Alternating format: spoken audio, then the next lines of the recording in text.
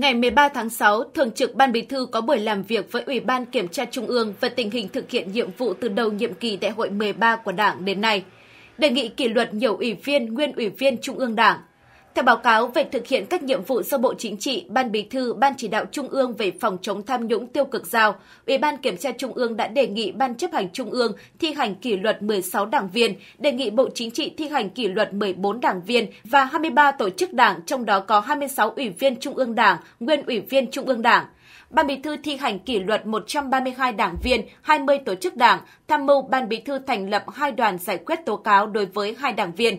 Về thực hiện các nhiệm vụ theo quy định của điều lệ Đảng, Ủy ban đã kiểm tra khi có dấu hiệu vi phạm đối với 78 tổ chức Đảng và 23 đảng viên. Qua kiểm tra đề nghị Ban chấp hành Trung ương, Bộ Chính trị, Ban Bí thư thi hành kỷ luật 43 tổ chức Đảng và 100 đảng viên, thi hành kỷ luật theo thẩm quyền 156 tổ chức Đảng và 371 đảng viên yêu cầu tổ chức đảng cấp dưới xem xét trách nhiệm, xử lý kỷ luật 118 tổ chức đảng và 359 đảng viên, kiểm tra việc thực hiện nhiệm vụ kiểm tra, giám sát và thi hành kỷ luật đảng, kiểm tra tài chính đảng đối với 82 tổ chức đảng, giám sát chuyên đề đối với 47 tổ chức đảng và 88 đảng viên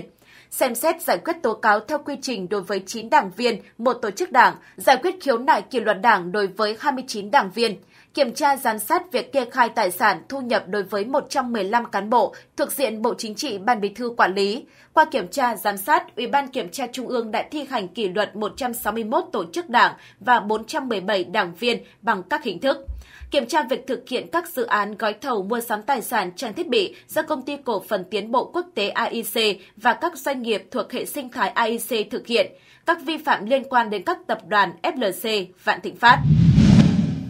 Phát biểu kết luận, Thường trực Ban Bí thư Lương Cường nêu rõ, những kết quả quan trọng trong công tác kiểm tra giám sát đã có tác dụng rất lớn trong cảnh báo, cảnh tỉnh, gian đe, phòng ngừa, ngăn chặn từ sớm, từ xa các vi phạm của tổ chức đảng, đảng viên. Thời gian tới, ông Lương Cường đề nghị Ủy ban Kiểm tra Trung ương tập trung thực hiện tốt một số nhiệm vụ trọng tâm, trong đó tiếp tục đổi mới mạnh mẽ, nâng cao chất lượng, hiệu lực, hiệu quả công tác kiểm tra, giám sát, kỷ luật của Đảng, Ủy ban kiểm tra các cấp cần chủ động thực hiện toàn diện, nghiêm túc, hiệu quả các nhiệm vụ theo quy định của điều lệ Đảng, trọng tâm kiểm tra tổ chức Đảng cấp dưới và đảng viên khi có dấu hiệu vi phạm với tinh thần chủ động, nỗ lực quyết tâm cao hơn, hành động quyết liệt hơn tập trung vào những nơi có vấn đề phức tạp, điểm nóng, những địa bàn lĩnh vực dễ nảy sinh vi phạm, những vấn đề nổi cộm còn tồn động gây bức xúc trong xã hội. Cùng với đó, ông Cường yêu cầu thực hiện nghiêm túc các kết luận của Ban chỉ đạo Trung ương về phòng chống tham nhũng tiêu cực, trong đó tập trung kiểm tra, xử lý kịp thời nghiêm minh các tổ chức đảng, đảng viên có vi phạm trong các vụ việc, vụ án thuộc diện Ban chỉ đạo theo dõi chỉ đạo đặc biệt xử lý dứt điểm các vụ việc liên quan đến vi phạm của công ty AIC và hệ sinh thái AIC, tập đoàn Vạn Thịnh Phát, tập đoàn Phúc Sơn, tập đoàn Thuận An và các vụ việc mới phát sinh. Việc xử lý kỷ luật, theo ông Lương Cường, phải đảm bảo nghiêm minh, kịp thời, không có vùng cấm, không có ngoại lệ, song trên tinh thần nhân văn, trị bệnh cứu người. Mục đích làm cho tổ chức đảng, đảng viên thấy được vi phạm khuyết điểm để khắc phục, sửa chữa, tiến bộ hơn, làm tốt hơn phát huy các nhân tố mới tích cực, bảo vệ cái đúng, bảo vệ cán bộ dám nghĩ, dám làm, dám đột phá, dám chịu trách nhiệm vì lợi ích chung. Thủ tướng Chính phủ Phạm Minh Chính vừa ký quyết định số 506 QĐ-TTG ngày 13 tháng 6 năm 2024 về việc phân công nhiệm vụ của các Phó Thủ tướng Chính phủ. Theo quyết định, Phó Thủ tướng Chính phủ Lê Minh Khái trực tiếp theo dõi chỉ đạo các lĩnh vực công tác, khối kinh tế tổng hợp, bao gồm kế hoạch tài chính, giá cả, tiền tệ ngân hàng, thị trường vốn, thị trường chứng khoán, các nguồn đầu tư tài chính, dự trữ nhà nước, dự báo và chính sách điều hành kinh tế vĩ mô. Theo dõi và chỉ đạo, Bộ Kế hoạch và Đầu tư, Bộ Tài chính, Ngân hàng Nhà nước Việt Nam, Thanh tra Chính phủ, Văn phòng Chính phủ, Ủy ban Quản lý vốn nhà nước tại doanh nghiệp, Bảo hiểm xã hội Việt Nam, Ủy ban Giám sát Tài chính Quốc gia, Ngân hàng Phát triển Việt Nam, Ngân hàng Chính sách Xã hội, Bảo hiểm tiền gửi. Phó Thủ tướng Lê Minh Khái đồng thời cũng được phân công làm nhiệm vụ chủ tịch các hội đồng, ủy ban quốc gia, trưởng các ban chỉ đạo quy định tại điểm C khoản 3 điều 2, quyết định số 1460 QĐ-TTG, chủ tịch hội đồng thẩm định các quy hoạch theo lĩnh vực liên quan. Phó Thủ tướng Trần Hồng Hà được phân công theo dõi chỉ đạo các lĩnh vực công tác, công nghiệp xây dựng, giao thông vận tải, tài nguyên và môi trường, quy hoạch tổng thể quốc gia, quy hoạch vùng, quy hoạch tỉnh, bảo đảm năng lượng, sử dụng năng lượng tiết kiệm và hiệu quả – chiến lược ứng phó với biến đổi khí hậu, các khu kinh tế, khu công nghiệp, khu chế xuất, các công trình trọng điểm quốc gia, các dự án đầu tư xây dựng cơ bản thuộc thẩm quyền theo lĩnh vực được phân công. Theo dõi và chỉ đạo, Bộ Công Thương, Bộ Giao thông Vận tải, Bộ Tài nguyên và Môi trường, Bộ Xây dựng, Viện Hàn lâm Khoa học Xã hội Việt Nam, Đại học Quốc gia Hà Nội, Đại học Quốc gia Thành phố Hồ Chí Minh. Phó Thủ tướng Trần Hồng Hà cũng được giao làm nhiệm vụ Chủ tịch Hội đồng Quy hoạch Quốc gia, Chủ tịch Hội đồng Quốc gia về Tài nguyên nước, Chủ tịch phân ban Việt Nam trong Ủy ban Liên Chính phủ Việt Nam Liên bang Nga, trưởng ban chỉ đạo nhà nước các chương trình, công trình, dự án quan trọng quốc gia, trọng điểm ngành năng lượng. Phó Thủ tướng Trần Lưu Quang được phân công theo dõi chỉ đạo các lĩnh vực công tác, ngoại giao và quan hệ đối ngoại, hỗ trợ phát triển chính thức ODA và vận động vốn vay ưu đãi, viện trợ phi chính phủ nước ngoài, các tổ chức phi chính phủ nước ngoài, hội nhập quốc tế. Bảo đảm trật tự, an toàn giao thông, phòng chống tội phạm, phòng chống buôn lậu và gian lận thương mại, nông nghiệp và phát triển nông thôn, phòng chống lụt bão, tìm kiếm cứu nạn, khoa học và công nghệ, thông tin và truyền thông, chấp thuận chủ trương đầu tư các dự án đầu tư thuộc thẩm quyền theo lĩnh vực được phân công. Phó Thủ tướng Trần Lưu Quang cũng được phân công theo dõi và chỉ đạo Bộ Ngoại giao, Bộ Nội vụ, Bộ Nông nghiệp và Phát triển Nông thôn, Bộ Khoa học và Công nghệ, Bộ Thông tin và Truyền thông, Ủy ban Dân tộc, Viện Hàn lâm Khoa học và Công nghệ Việt Nam. Đồng thời, Phó Thủ tướng Trần Lưu Quang cũng được giao làm nhiệm vụ Chủ tịch Ủy ban chỉ đạo hợp tác song phương Việt Nam Trung Quốc, phụ trách Ủy ban Liên Chính phủ Việt Nam Lào, Chủ tịch Ủy ban chỉ đạo quốc gia về cơ chế một cửa ASEAN, cơ chế một cửa quốc gia và tạo thuận lợi thương mại. Phó Thủ tướng Lê Thành Long được phân công theo dõi chỉ đạo các lĩnh vực công tác, công tác xây dựng thể chế, xây dựng nhà nước pháp quyền xã hội chủ nghĩa, cải cách tư pháp, xử lý tranh chấp, khiếu kiện quốc tế, đặc xá, phối hợp công tác giữa chính phủ với Tòa án Nhân dân tối cao và Viện Kiểm sát Nhân dân tối cao, giáo dục đào tạo và dạy nghề, lao động việc làm và các vấn đề xã hội, văn hóa du lịch, thể dục thể thao, y tế dân số gia đình và trẻ em. Chấp thuận chủ trương đầu tư các dự án đầu tư thuộc thẩm quyền theo lĩnh vực được phân công. Phó Thủ tướng Lê Thành Long theo dõi và chỉ đạo Bộ Tư pháp, Bộ Giáo dục và Đào tạo, Bộ Lao động Thương binh và Xã hội, Bộ Văn hóa, Thể thao và Du lịch, Bộ Y tế, kiêm giữ chức Bộ trưởng Bộ Tư pháp đến khi cấp có thẩm quyền kiện toàn chức danh Bộ trưởng Bộ Tư pháp nhiệm kỳ 2021-2026 theo quy định. Ngoài ra, Phó Thủ tướng Lê Thành Long làm các công việc khác theo sự phân công, ủy nhiệm của Thủ tướng Chính phủ.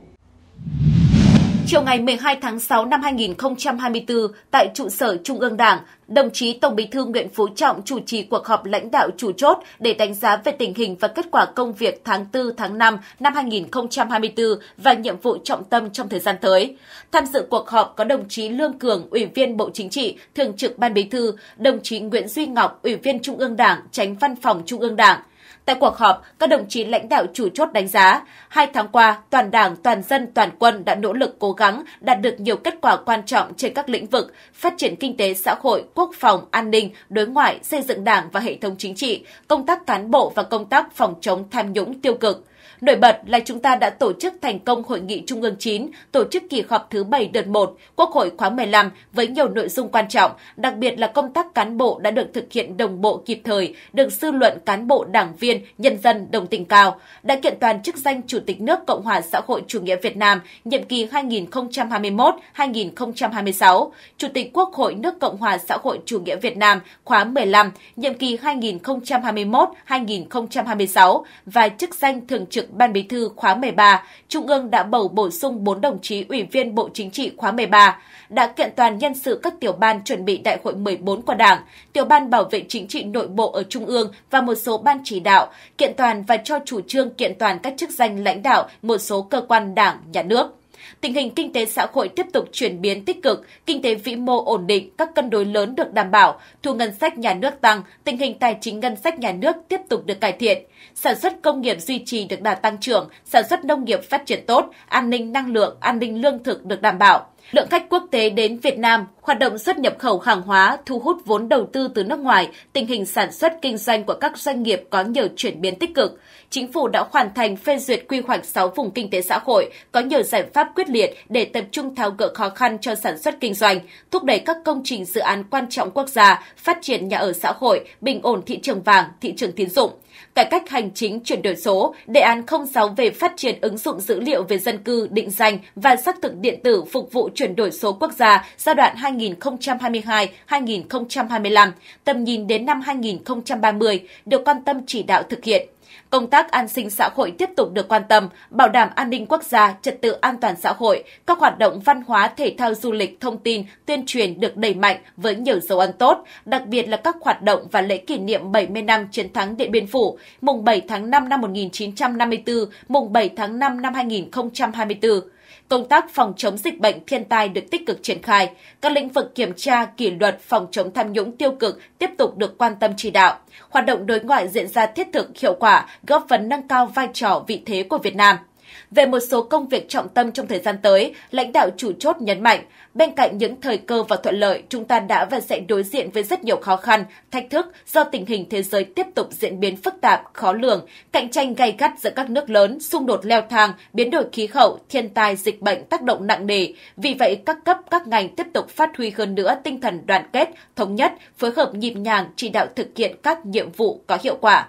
Cụ thể là một thúc đẩy mạnh mẽ tăng trưởng kinh tế gắn với củng cố giữ vững ổn định kinh tế vĩ mô, kiểm soát lạm phát, bảo đảm các cân đối lớn của nền kinh tế, tập trung tháo gỡ khó khăn cho sản xuất kinh doanh, có giải pháp ổn định thị trường giá cả, nhất là đối với xăng dầu, các hàng hóa thiết yếu, nhà ở và lương thực thực phẩm, thực hiện các giải pháp đồng bộ hiệu quả quản lý chặt chẽ thị trường vàng gắn với giữ vững tỷ giá, ổn định kinh tế vĩ mô đẩy mạnh giải ngân vốn đầu tư công, ba chương trình mục tiêu quốc gia, các công trình dự án hạ tầng quan trọng trọng điểm quốc gia, khẩn trương triển khai các quy hoạch đã ban hành, nhất là quy hoạch điện 8, các vùng, các tỉnh, tập trung hoàn thành việc phê duyệt các quy hoạch còn lại, chủ động xây dựng các phương án kế hoạch phù hợp, bảo đảm đủ điện, nước, xăng dầu cho sản xuất, kinh doanh, sinh hoạt. Tiếp tục đẩy mạnh xây dựng hoàn thiện thể chế, tổ chức thi hành pháp luật, nhất là đối với các luật mới có hiệu lực, bảo đảm hiệu quả đồng bộ kịp thời, thúc đẩy cải cách thủ tục hành chính chuyển đổi số, thực hiện đề án phát triển ứng dụng dữ liệu về dân cư,